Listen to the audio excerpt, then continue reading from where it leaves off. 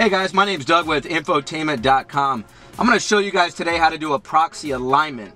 Uh, when you upgrade to our radio, a lot of the vehicles um, with the Fiat-based computer require a proxi alignment before the radio communicates with the vehicle's computer. Uh, this includes the late model Jeep Cherokee, uh, the Jeep uh, Compass, the late model Jeep Compass, Chrysler 200, the Jeep Renegade, the Ram ProMaster, uh, so on and so forth.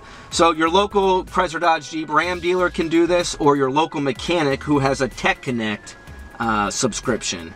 Uh, so if they have that, um, they'll be able to do it as well. So basically what we do is we have the vehicle in the run position right now. We have our WiTech tool plugged into the OBD2 port. Um, we have our software up now. We've signed in. This looks familiar to a lot of you dealers. Um, what we're going to go to is guided diagnostics. And you'll notice something here said that says proxi configuration alignment. So we're going to go to that and continue. It's going to say ignition must be in run, and the radio must be on. And then we're going to go down to continue, and it's going to align the misaligned um, modules. So it's going to do that now, aligning ECUs.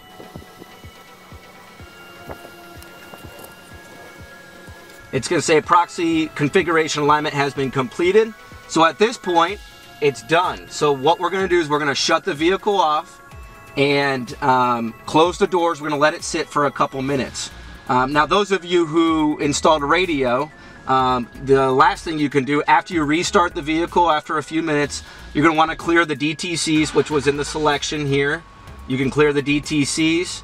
And then the other thing you can do is you can reset within guided diagnostics, you can reset. It's either going to say radio or it'll say ETM. Here's the ETM. This particular vehicle has an ETM. It's electronic telematic module. Uh, or it will say radio. So um, to reset it, you're just going to select it, continue, continue. And that's going to reset your radio. It's going to, like I said, it'll either be called ETM or it'll be called radio. Uh, so at this point, since the proxi alignment's done, we reset the radio here. Uh, we can go ahead and just shut the vehicle off. We can remove all of our programming tools and equipment. And we can let the vehicle sleep.